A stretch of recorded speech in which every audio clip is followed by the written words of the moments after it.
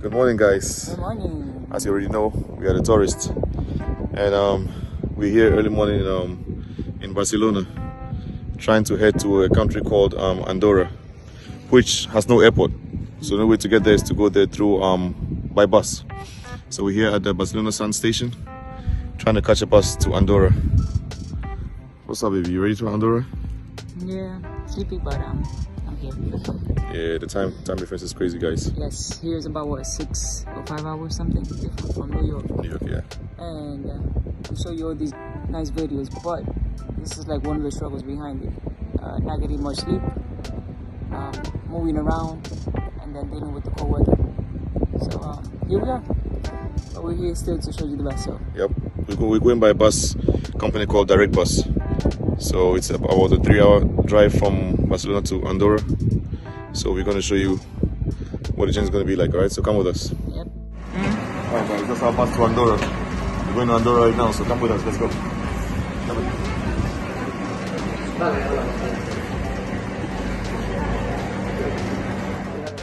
The bus company we used, like I said earlier, was Direct Bus. The seats were comfortable. They had tray tables, as you can see behind the seats. And the legroom was not too bad, as you can see. And the seats were able to recline a little bit. Check this out, look at me. Wasn't bad at all for a three hour um, bus ride. Seats also had USB, so you could charge your phones. The bus also had a toilet in the back of it, which we did not use, but can come in handy in case of an emergency. The bus ride was nice and comfortable. Amazing scenery. The bus was half empty, as you can see. It was late November and it was still COVID time, so we all had to wear our mask. And I guess not too many people were traveling. But the journey, the view along the way was amazing. Driving through these mountains, driving through um, some tunnels, as you can see right now. It was nice. I kind of loved it, kind of enjoyed it. My wife loved it too. We slept for half of the trip since it was an early morning bus ride. We needed a sleep. Before we knew it, there we were at the Andorra Barcelona border. Yup, Andorra Barcelona border. There we were about to get into Andorra.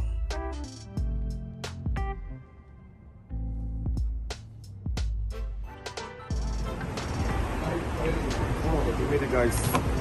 Welcome to Andorra. So this is the bus station, guys. Once you jump from Barcelona, this is where the bus stops right here. And on your way back, you take the bus at the same location right here too. Alright, you see the sign. One more thing, guys. At the bus station, since most people come here as a day trip, you can leave your luggage here in the locker. See it? In different prices. Some are 4 euros and some are 3 euros. And these are big ones right here. These are 5 euros. See it? Look how big it is. You can fit in. if you want to leave your wife here, you can leave your wife here and go hang out. Uh-huh. Yeah, funny you. In the capital city of Andorra. And Andorra is known as a country in the mountains. Look behind me, guys. Mountains everywhere. See how nice it is? Then you have buildings up in the mountains. And the glass building you see right there, it's a spa. And I heard it's um the tallest spa in the whole of Europe. Look at it. So beautiful. It's amazing how they build these houses on top of the mountains. People living up there. I wonder how they come down and how they go up. Driving up all the way up, you gotta have some good brakes driving all the way up and driving all the way down. Coming down is, a, is gonna be a problem. Oh, check it out.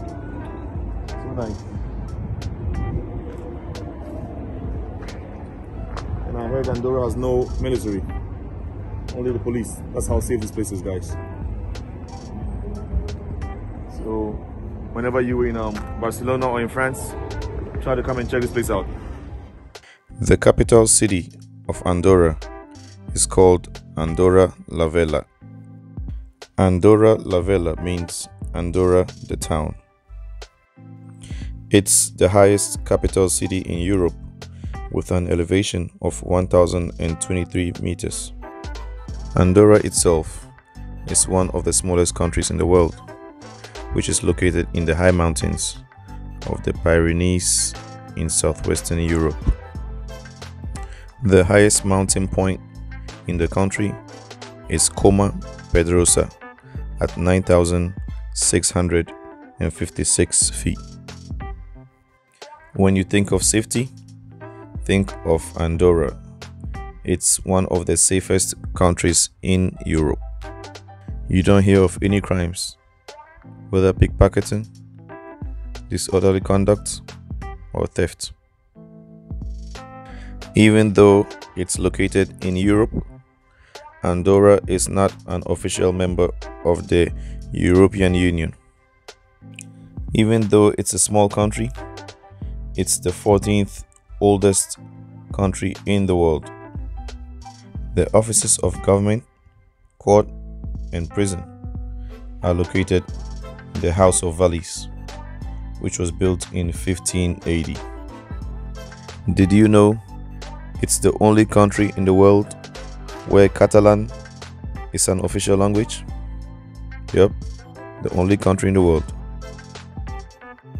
It's also the world's only co principality.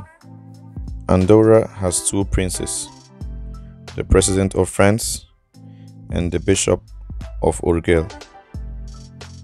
Just in case you were wondering where Urgell is, it is a county in Catalonia, Spain. From 1936 to 1940, Andorra was occupied by France. And in 1993, Andorra became members of the United Nations. Andorra also has a system where the authorities build schools, but France and Spain pay the teachers who work there.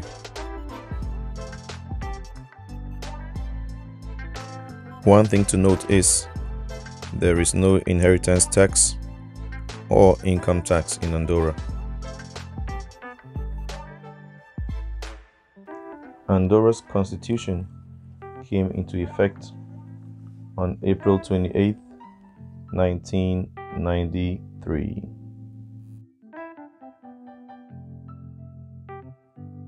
The popular sport here is skiing which attracts a lot of tourists from around the world. Andorra is also known as the poor man's Switzerland.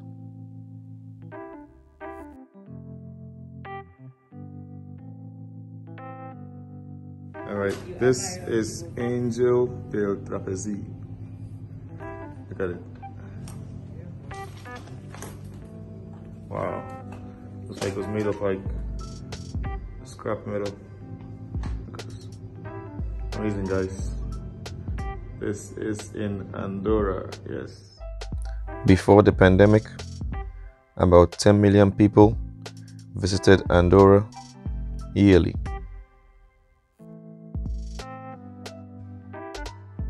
Just like every country in the world, Andorra has been affected by the pandemic too.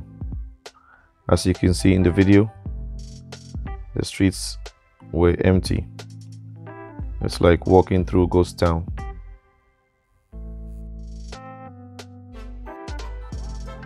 Now this is where all the stores are located, where tourists come in search for good prices and tax-free shopping.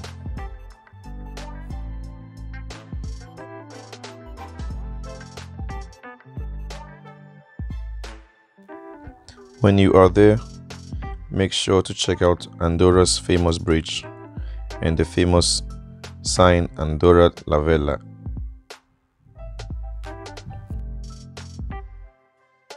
Another fact about Andorra is that their military budget depends on voluntary donations. And all able bodied men must serve when called upon. In case of emergencies or natural disasters, they will be called by means of an alarm. The law in Andorra also requires the eldest able bodied man of a house to keep a rifle. Yep. And to be used when needed for national protection. Andorra's army consists of just 12 people.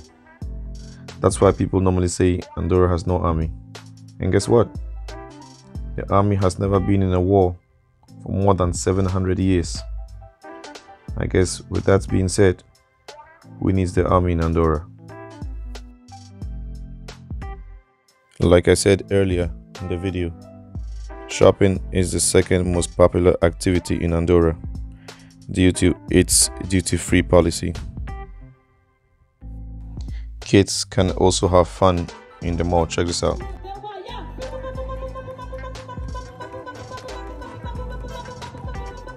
Estamos a la discoteca, ¿eh? Bravo porque nos deixa, tenim després. Limones! Guapíssimes? For those who love street food, there is also street food in the shopping area. Check out the mobile coffee stand on the right. I tried the coffee and it was good too. Seafood is very popular in Andorra. The locals also love eating snails. So I heard. Did you know Andorrans are the minority in their own country? Yep, they are. And you could cross the whole entire country by foot. And most of them are Catholics. Andorra has a lot of old churches, and it's one of them right here. Look at it. so nice. That's the church of San Pierre Martyr. See it? One of the old um, churches in the neighborhood.